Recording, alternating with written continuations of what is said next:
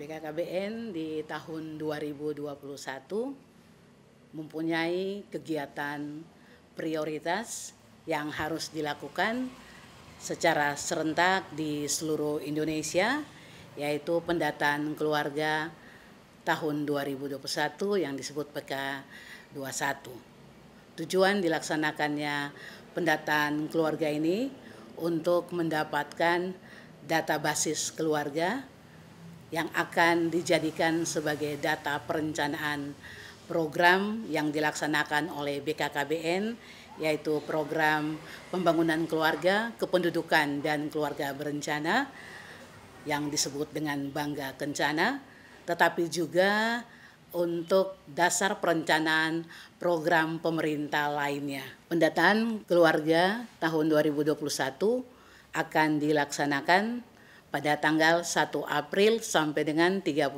Mei 2021.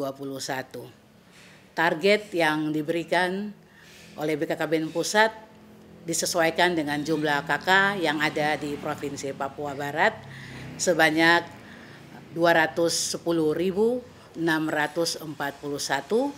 yang tersebar di 12 kabupaten dan satu kota di Provinsi Papua Barat.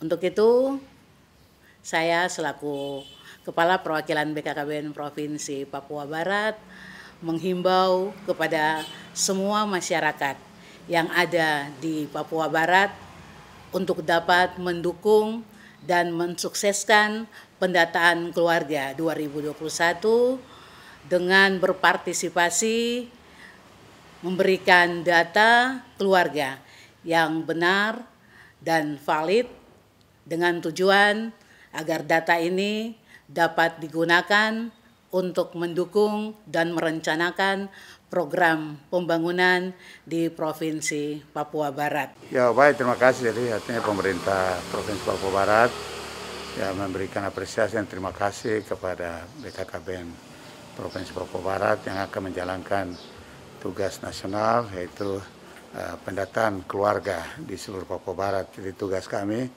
kita akan uh, ya setelah kita terima surat dari BKKBN provinsi menindaklanjuti dari pusat ya. Kemudian kita akan tindak lanjut juga ke para bupati wali kota di seluruh Papua Barat untuk bisa membantu uh, kelancaran pendataan artinya apa yang menjadi tanggung jawab kita menjadi kewenangan pemerintah provinsi Papua Barat kita akan memberikan dukung.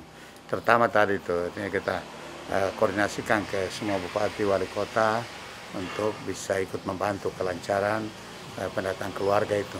Ya. Sehingga kita harapkan ya bisa lancar dan bisa sukses kita. Ya terima kasih.